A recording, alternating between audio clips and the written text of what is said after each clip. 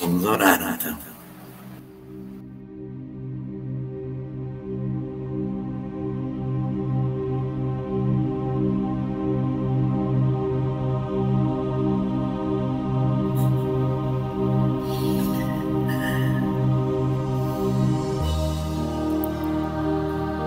Querido Senhor,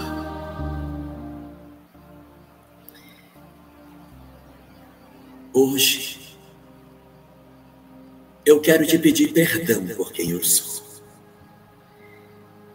Quero te pedir perdão pela minha incapacidade de amar sem reservas.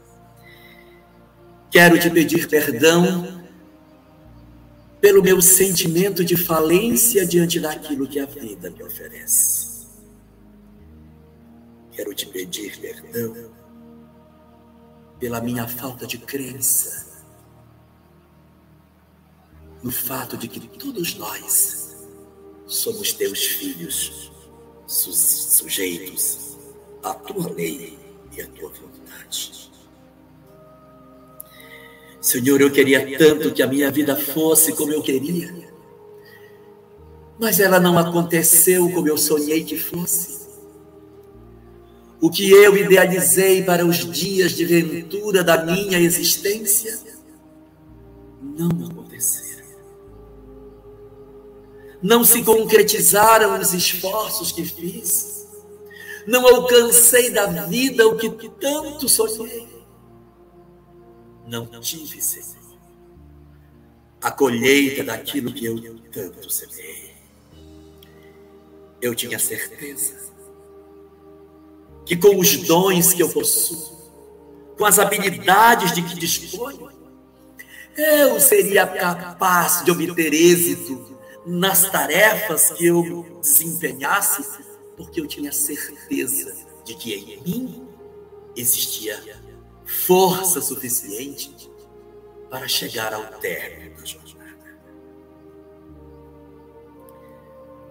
Mas a vida não me levou para o porto que eu queria. O mar das grandes provas arrastou meu barco pelas ondas terríveis. A tempestade tomou conta do horizonte. E eu, Senhor, desarvorado diante das dores e do desespero de não ver a concretização do meu sonho, eu desisti do barco. Eu desisti dos compromissos que assumi. Eu rompi com a minha história de vida. Eu abandonei, Senhor, aqueles que tu me confiaste. Eu abandonei os propósitos que tu me ofereceste. E permiti que o barco que tu para mim preparaste com todos os instrumentos que eu precisava, oferecendo-me tudo o que era preciso para que eu alcançasse o destino. Eu, Senhor, não soube manusear os instrumentos que tu me ofereceste. Não soube lidar com o timão da minha própria história eu não soube ajustar a bússola dos meus próprios sentimentos. Não fui capaz de orientar pelas estrelas que tu fizeste surgir nas minhas noites escuras para que eu pudesse me guiar nos dias que antecediam as horas de tempestade. Senhor, hoje eu compareço diante de ti para te dizer que hoje reconheço que a tua vontade é soberana, Senhor. Para te dizer que eu aceito o destino que tu me deste. Para te dizer que eu agora me submeto à tua vontade.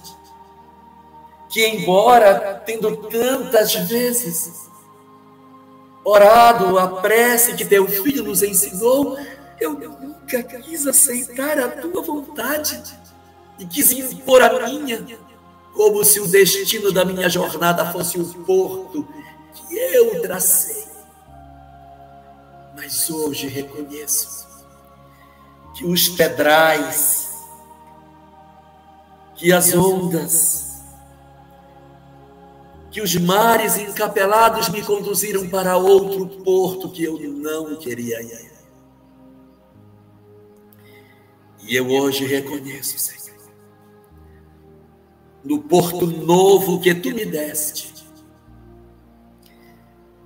uma oportunidade completamente diferente de crescimento para o meu coração.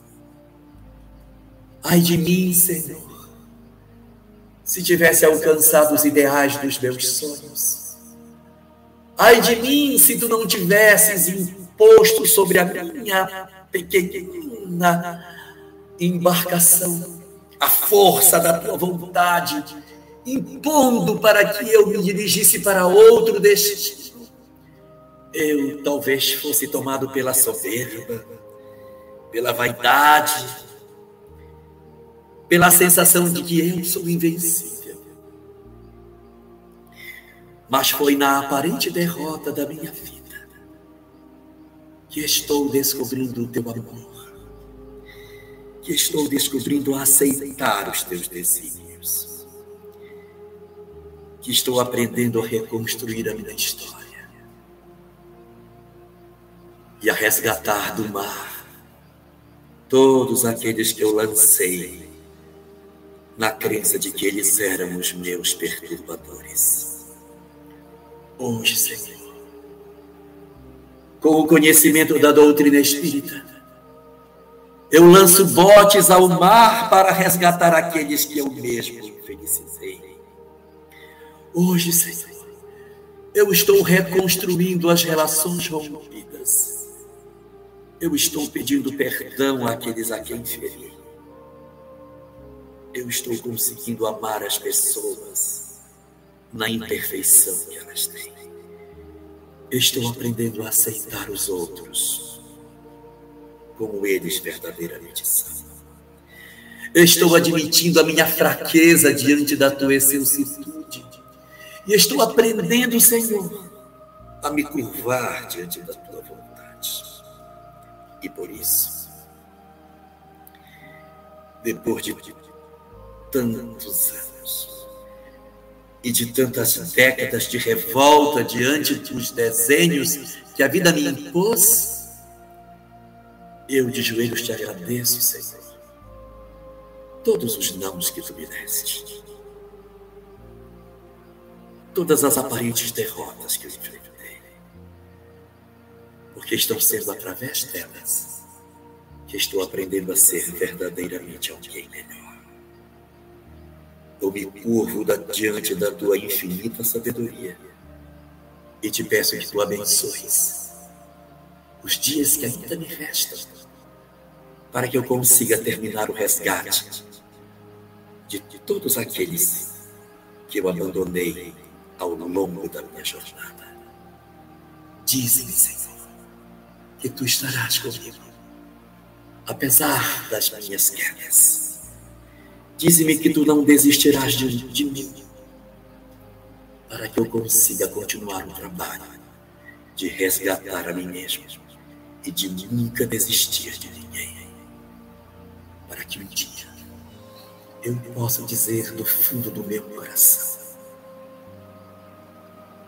Eu nunca desistirei de você.